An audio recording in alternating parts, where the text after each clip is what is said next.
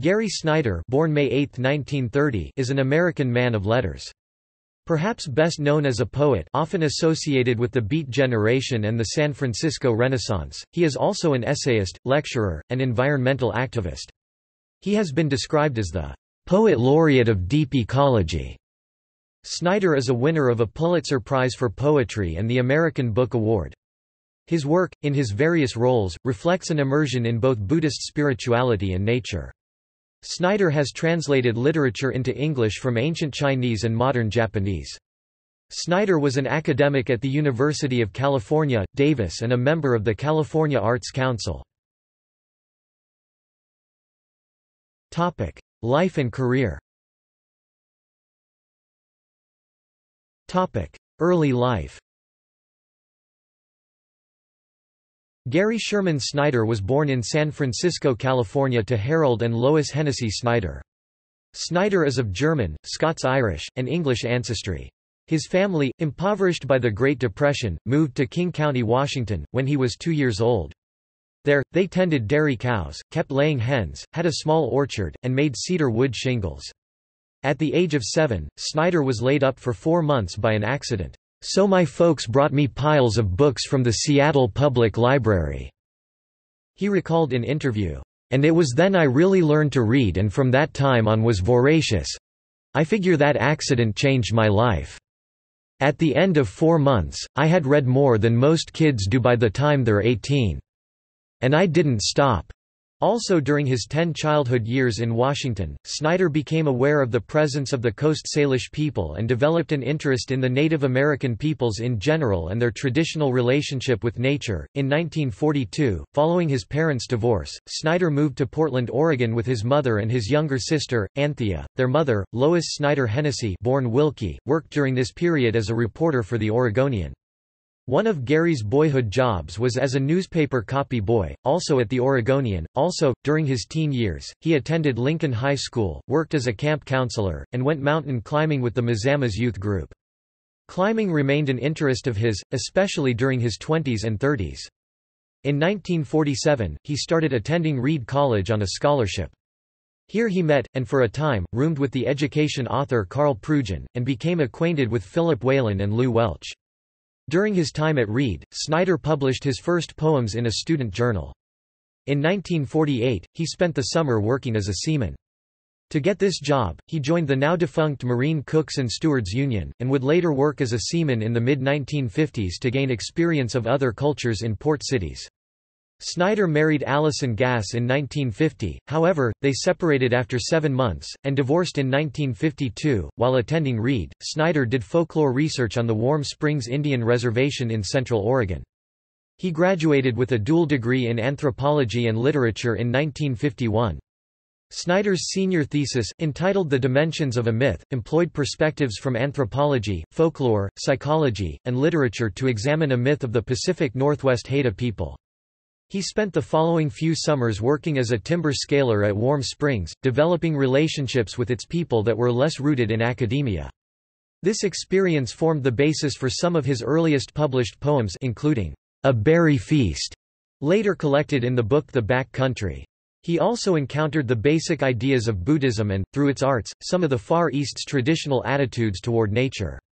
He went to Indiana University with a graduate fellowship to study anthropology. Snyder also began practicing self-taught Zen meditation. He left after a single semester to return to San Francisco and to sink or swim as a poet. Snyder worked for two summers in the North Cascades in Washington as a fire lookout, on Crater Mountain in 1952 and Sourdough Mountain in 1953 both locations on the upper Skagit River. His attempts to get another lookout stint in 1954 at the peak of McCarthyism, however, failed. He had been barred from working for the government, due to his association with the Marine cooks and stewards. Instead, he went back to Warm Springs to work in logging as a choker setter fastening cables to logs. This experience contributed to his myths and texts and the essay Ancient Forests of the Far West.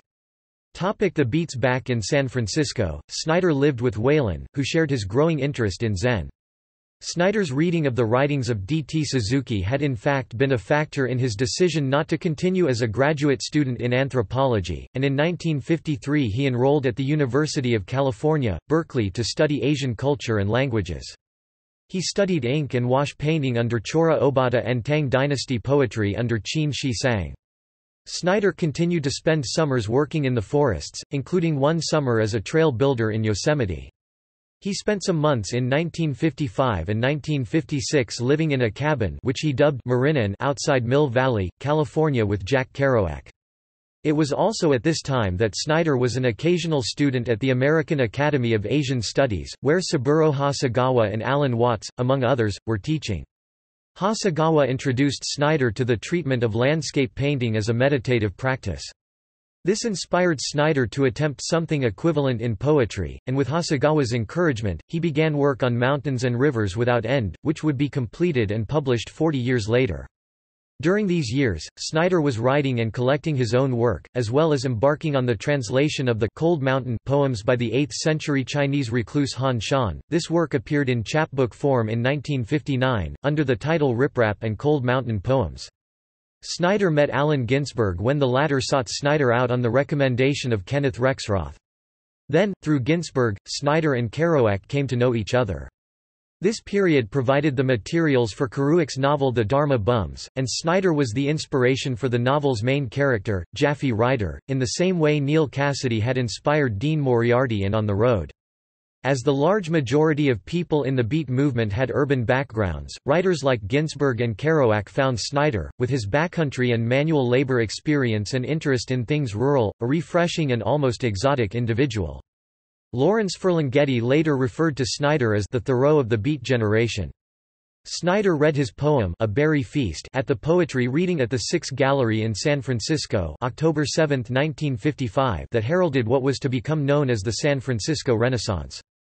This also marked Snyder's first involvement with the Beats, although he was not a member of the original New York Circle, but rather entered the scene through his association with Kenneth Rexroth. As recounted in Kerouac's Dharma Bums, even at age 25 Snyder felt he could have a role in the fateful future meeting of West and East. Snyder's first book, Riprap, which drew on his experiences as a forest lookout and on the trail crew in Yosemite, was published in 1959.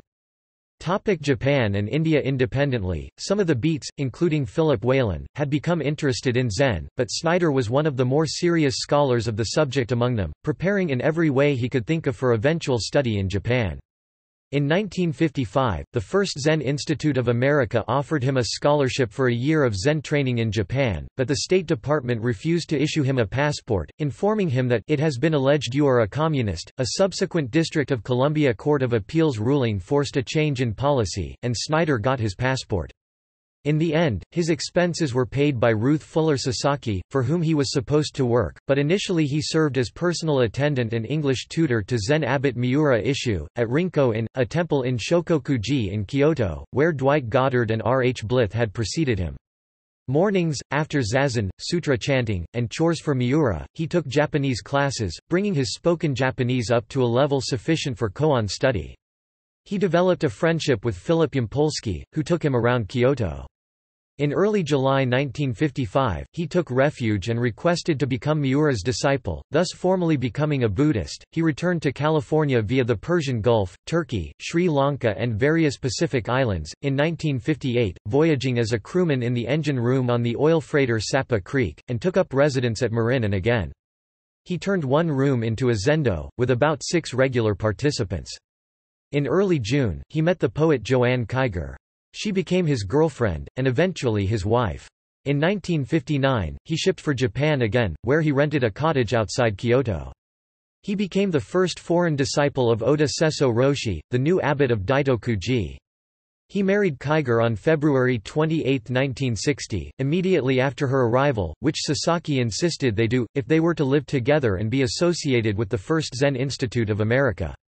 Snyder and Joanne Kyger were married from 1960 to 1965. During the period between 1956 and 1969, Snyder went back and forth between California and Japan, studying Zen, working on translations with Ruth Fuller Sasaki, and finally living for a while with a group of other people on the small, volcanic island of Suwanosejima. His previous study of written Chinese assisted his immersion in the Zen tradition with its roots in Tang dynasty China and enabled him to take on certain professional projects while he was living in Japan. Snyder received the Zen precepts and a Dharma name Chofu, listened to the wind, and lived sometimes as a de facto monk, but never registered to become a priest and planned eventually to return to the United States to turn the wheel of the Dharma.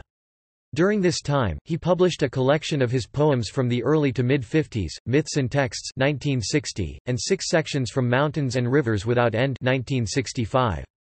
This last was the beginning of a project that he was to continue working on until the late 1990s.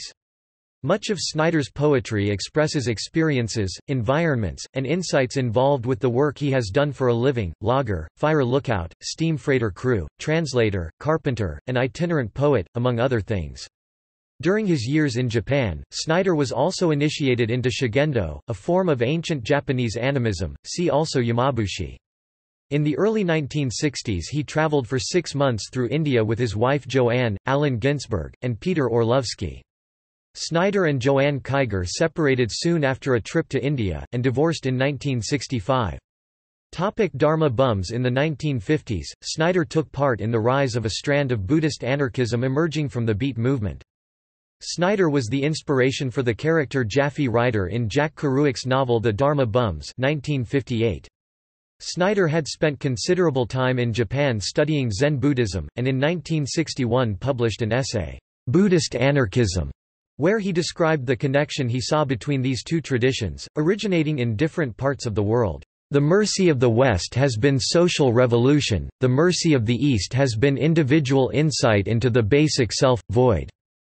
He advocated, using such means as civil disobedience, outspoken criticism, protest, pacifism, voluntary poverty and even gentle violence", and defended, "...the right of individuals to smoke ganja, eat peyote, be polygamous, polyandrous or homosexual", which he saw as being banned by the Judeo-capitalist Christian Marxist West.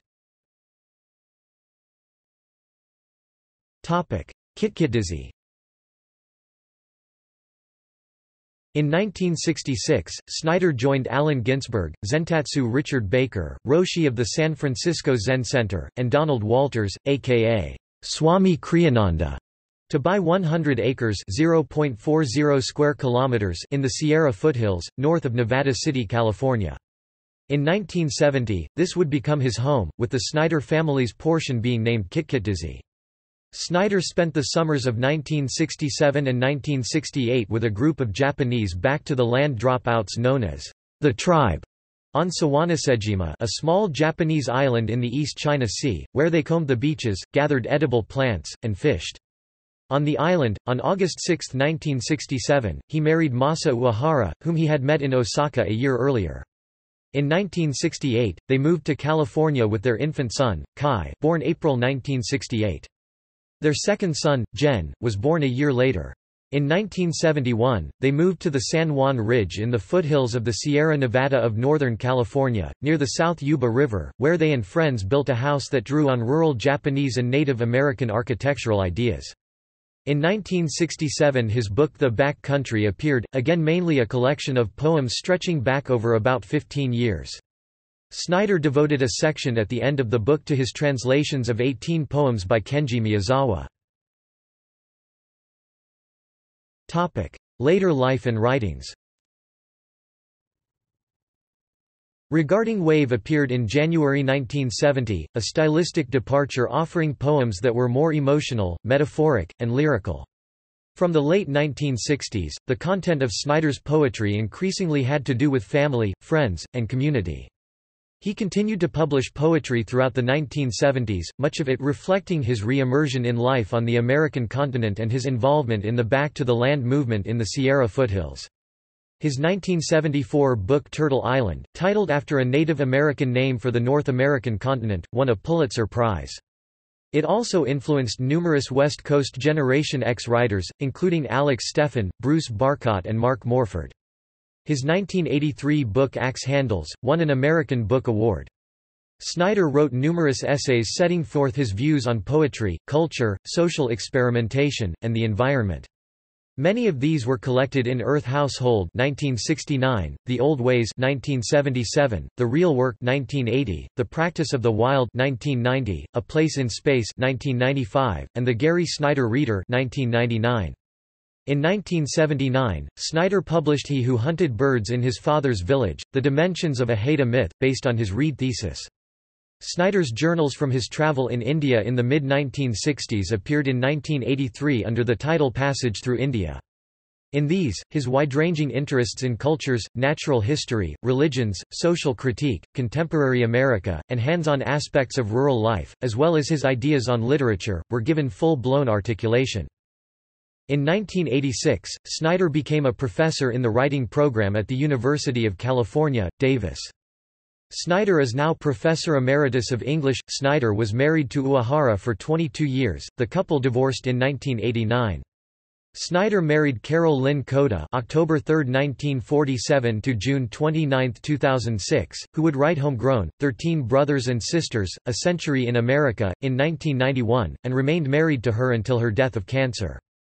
She had been born in the third generation of a successful Japanese-American farming family, noted for its excellent rice. She shared Buddhism, extensive travels, and work with Snyder, and performed independent work as a naturalist. As Snyder's involvement in environmental issues and his teaching grew, he seemed to move away from poetry for much of the 1980s and early 1990s. However, in 1996 he published The Complete Mountains and Rivers Without End, a mixture of the lyrical and epic modes celebrating the act of inhabitation on a specific place on the planet. This work was written over a 40-year period. It has been translated into Japanese, French and Russian. In 2004 Snyder published Danger on Peaks, his first collection of new poems in 20 years. Snyder was awarded the Levinson Prize from the journal Poetry. The American Poetry Society Shelley Memorial Award (1986) was inducted into the American Academy of Arts and Letters (1987) and won the 1997 Bollingen Prize for Poetry and that same year, the John Hay Award for Nature Writing. Snyder also has the distinction of being the first American to receive the Buddhism Transmission Award for 1998 from the Japan-based Bukkyo Dendo Kyokai Foundation. For his ecological and social activism, Snyder was named as one of the 100 visionaries selected in 1995 by Utne Reader. Snyder's life and work was celebrated in John J. Healey's 2010 documentary The Practice of the Wild. The film, which debuted at the 53rd San Francisco International Film Festival, features wide-ranging, running conversations between Snyder and poet, writer and longtime colleague Jim Harrison, filmed mostly on the Hearst Ranch in San Simeon, California. The film also shows archival photographs and film of Snyder's life. Topic. Work Topic. Poetics Gary Snyder uses mainly common speech patterns as the basis for his lines, though his style has been noted for its flexibility and the variety of different forms his poems have taken. He typically used neither conventional meters nor intentional rhyme. Love and respect for the primitive tribe, honor accorded the earth, the escape from city and industry into both the past and the possible, contemplation, the communal. Such, according to Glenn Maxwell, is the awareness and commitment behind the specific poems. The author and editor Stewart Brand once wrote, Gary Snyder's poetry addresses the life-planet identification with unusual simplicity of style and complexity of effect. According to Jody Norton, this simplicity and complexity derives from Snyder's use of natural imagery geographical formations, flora, and fauna in his poems. Such imagery can be both sensual at a personal level yet universal and generic in nature.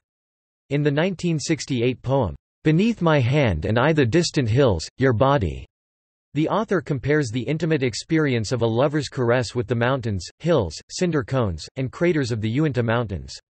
Readers become explorers on both a very private level as well as a very public and grand level.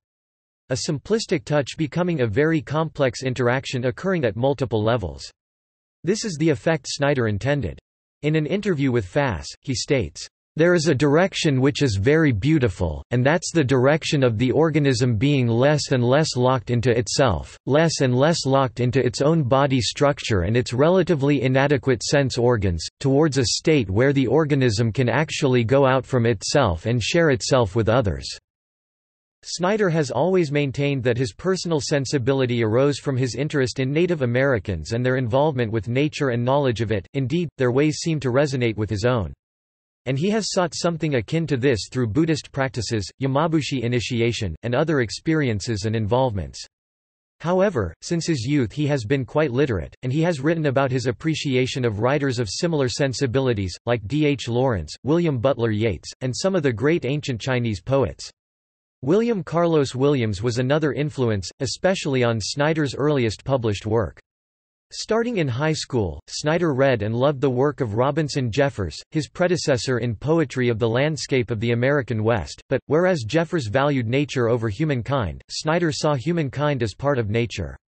Snyder commented in interview, I have some concerns that I'm continually investigating that tie together biology, mysticism, prehistory, general systems theory. Snyder argues that poets, and humans in general, need to adjust to very long timescales, especially when judging the consequences of their actions. His poetry examines the gap between nature and culture so as to point to ways in which the two can be more closely integrated.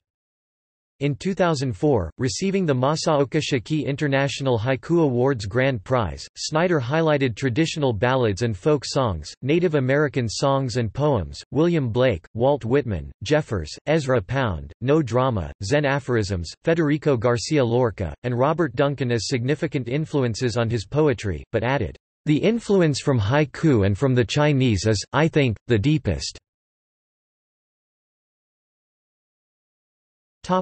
Romanticism Snyder is among those writers who have sought to disentrench conventional thinking about primitive peoples that has viewed them as simple-minded, ignorantly superstitious, brutish, and prone to violent emotionalism. In the 1960s Snyder developed a neo-tribalist view akin to the postmodernist theory of French sociologist Michel Maffesoli. The re-tribalization of the modern, mass society world envisioned by Marshall McLuhan, with all of the ominous, dystopian possibilities that McLuhan warned of, subsequently accepted by many modern intellectuals, is not the future that Snyder expects or works toward. Snyder's is a positive interpretation of the tribe and of the possible future. Todd Ensign describes Snyder's interpretation as blending ancient tribal beliefs and traditions, philosophy, physicality, and nature with politics to create his own form of postmodern environmentalism. Snyder rejects the perspective which portrays nature and humanity in direct opposition to one another. Instead, he chooses to write from multiple viewpoints. He purposely sets out to bring about change on the emotional, physical, and political levels by emphasizing the ecological problems faced by today's society. Topic: Beat. Gary Snyder is widely regarded as a member of the Beat Generation circle of writers. He was one of the poets that read at the famous Six Gallery event, and was written about in one of Kerouac's most popular novels, The Dharma Bums. Some critics argue that Snyder's connection with the Beats is exaggerated and that he might better be regarded as a part of the San Francisco Renaissance, which developed independently. Snyder himself has some reservations about the label Beat, but does not appear to have any strong objection to being included in the group. He often talks about the Beats in the first person plural, referring to the group as we and us. A quotation from a 1974 interview at the University of North Dakota Writers' Conference published in the Beat Vision, I never did know exactly what was meant by the term the Beats, but let's say that the original meeting, association, comradeship of Allen Ginsberg, myself, Michael McClure, Lawrence Ferlinghetti, Philip Whalen, who's not here, Lew Welch, who's dead, Gregory Corso, for me, to a somewhat lesser extent I never knew Gregory as well as the others did embody a criticism and a vision which we shared in various ways, and then went our own ways for many years. Where we began to come really close together again, in the late 60s, and gradually working toward this point, it seems to me, was when Alan began to take a deep interest in Oriental thought and then in Buddhism which added another dimension to our levels of agreement, and later through Alan's influence, Lawrence began to draw toward that, and from another angle, Michael and I after the lapse of some years of contact, found our heads very much in the same place, and it's very curious and interesting now, and Lawrence went off in a very political direction for a while, which none of us had any objection with, except that wasn't my main focus. It's very interesting that we find ourselves so much on the same ground again, after having explored divergent paths, and find ourselves united on this position of powerful environmental concern, critique of the future of the individual state, and an essentially shared poetics, and only half-stated but in the background very powerfully there, a basic agreement on some Buddhist-type psychological views of human nature and human possibilities. Snyder has also commented the term beat is better used for a smaller group of writers, the immediate group around Allen Ginsberg and Jack Kerouac, plus Gregory Corso and a few others. Many of us, belong together in the category of the San Francisco Renaissance. Still, beat can also be defined as a particular state of mind, and I was in that mind for a while. Topic bibliography Riprap and Cold Mountain Poems 1959 Myths and Texts 1960 Six sections from Mountains and Rivers Without End 1965 The Back Country 1967 Regarding Wave 1969 Earth Household 1969 Turtle Island 1974 The Old Ways 1977 He Who Hunted Birds in His Father's Village The Dimensions of a Haida Myth 1979 The Real Work Interviews and Talks 1964 to 1979 1980 Axe Handles 1983 Passage Through India. 1983 Left Out in the Rain. 1988 The Practice of the Wild. 1990 No Nature. New and Selected Poems. 1992 A Place in Space. 1995 Narrator of the audio book version of Kazuaki Tanahashi's Moon in a Dewdrop from Dogen's Shobogenzo Mountains and Rivers Without End. 1996 The Geography of Home. Poetry Book. 1999 The Gary Snyder Reader. Prose Poetry and Translations 1999, The High Sierra of California, with Tom Killion 2002, Lookout, A Selection of Writings November 2002, Danger on Peaks 2005, Back on the Fire, Essays 2007, The Selected Letters of Allen Ginsberg and Gary Snyder, 1956–1991, 2009. Tamalpais Walking, with Tom Killion 2009, The Etiquette of Freedom, with Jim Harrison 2010, film by Will Hearst with book edited by Paul Ebenkamp Nobody Home, Writing, Buddhism, and Living in Places, with Julia Martin, Trinity University Press 2014.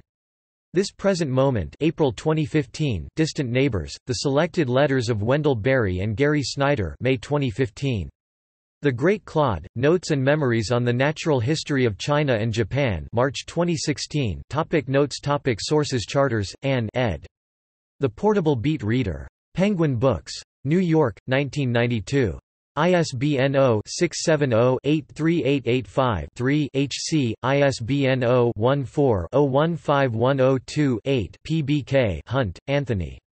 Genesis, Structure, and Meaning in Gary Snyder's Mountains and Rivers Without End Univ, of Nevada Press, 2004. ISBN 0-87417-545-3 Knight, Arthur Winfield. ed. The Beat Vision 1987 Paragon House.